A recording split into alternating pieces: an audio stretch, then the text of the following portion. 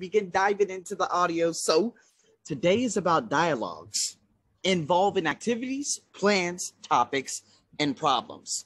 Now, going over what you may potentially hear, going back to TOEFL ITP, there will at least be one question. I can't give you a definitive number. It could be anywhere between one to three, where they will ask you, What are they probably doing? This is that type of video. All right. So I want you to keep and pay close attention to that because, again, if you get one of these questions and you were listening to something else that's entirely different, such as any of the previous modules, you might be stuck, is what I'm trying to say. So, with that being said, people, let's dive into this. So, like I had already promised you, we got 15 questions.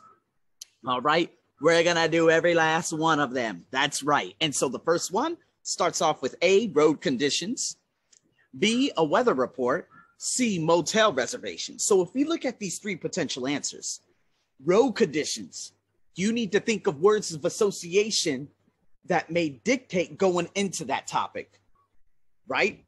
And so we're going to go over this, but again, you're previewing it. B, a weather report. It could be anything in regards to the wind, uh, poor poor conditions on the road. Again, that could be a little bit of a distractor in regards to A because they might mention there being too much snow or, you know, the forecast for tomorrow. These are words of association. Motel reservations, you already know. So, in saying that, what are they probably doing? Or what are they probably talking about? Road conditions, a weather report, motel reservations. This is what we're going to be focusing on. So, with that being said, here we go. Three, two, and one. I can't believe how icy the highway is. There it is. Yeah, I've never seen it so bad. Maybe we should just stay at a motel and see if it's any better in the morning. Mm-hmm. What are they talking about? Okay, so here we go. Are they talking about because you see, or and because you see and see motel, and because you heard motel, the majority of you, the majority of you would hurry up and say, "Yep, that's that's it." C is absolutely the answer. Wrong. There was one key word that the first female said. Look how icy the roads are. So what are they probably talking about? The oh, the other girl, the, the second speaker, just gave a suggestion. Yeah, maybe we should just stay at the stay at a hotel until the morning. They're not talking about reservations. They're talking about probably staying at the hotel. And again, again, are we are we are they talking about road conditions or are they talking about a weather report? A weather report that means they would have to re- use reported speech to talk about, hey, did you hear what happened on the news this morning? The forecast for tomorrow is going to be this. So what they're talking about is because the road conditions are so bad, alas icy, they should probably just stay in a hotel until the next morning. A would be the answer. These are tricky. You hear keywords in C, you're probably saying, oh, weather, icy. That's another distractor. Road conditions. Because the road is icy, that's what they're talking about. And as a suggestion, the other girls say, you know what, maybe we should just stay in a, you know, let's just stay in a hotel until the morning. These could be a little bit trickier. All right. So what we're going to do, we're going to dive deeper into these. Let's go into number two. Go to the concert, listen to jazz on the radio, buy more tickets. All right. So conjure up. That was a little that that was a bit bit of a difficult number one. Let's see how this number two goes. All right. So let's go. Number two. Have you heard about that big outdoor jazz concert next month? Heard about it? I already have tickets. Okay. What is the woman going to do? Okay. Now, he said, Have you heard about that big outdoor jazz concert next month? She said, Heard about it. Surprise. She's like, I already have tickets. So, what is the woman probably going to do? She's going to go to the concert. A is your answer. It's not about the radio and it's not about buying more tickets. She already has tickets. So, why would she even buy more tickets? Get me? So, let's go into number three. A, the man's car is not running. B, the man isn't going to the party. C, the car isn't big enough for four people. Number let's three. Joe and Nancy and I were hoping to get a ride to the party with you. With me?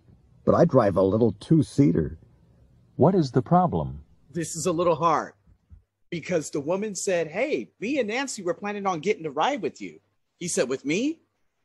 And this is really colloquial. So if you didn't pick up the last couple of things he said, there's no way you're going to get it. He said, I drive a little two seater.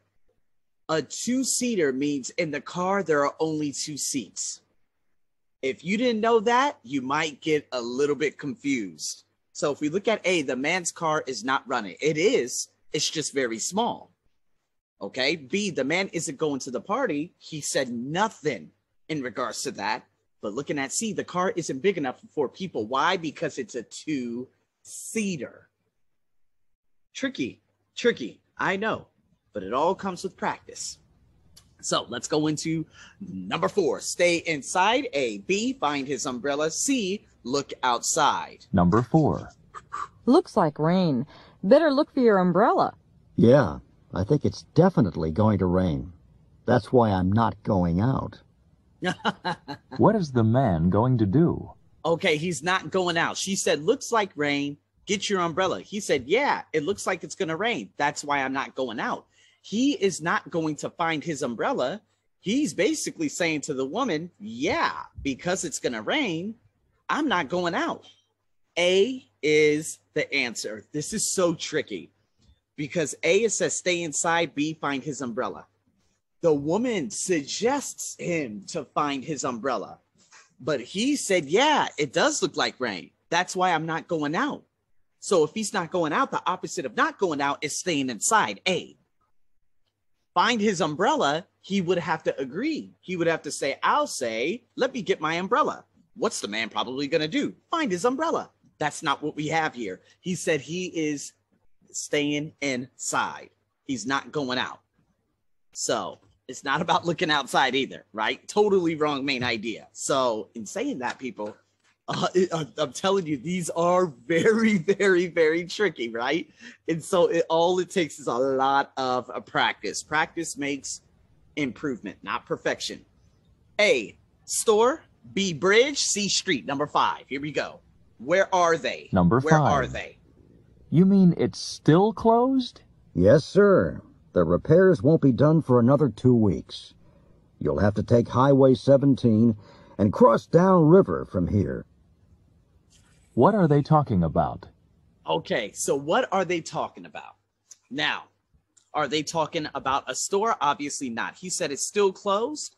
Because the man says this at the beginning, a lot of people would automatically assume that he's talking about closed, meaning store, meaning some kind of place, right? However, it seems like he's talking to a police officer, right? He said, You're going to instead have to take highway and cross down river from there. Cross down river. Now, this is very similar to crossing over. So, are they talking about a street or are they talking about another way of getting across the river? B, bridge.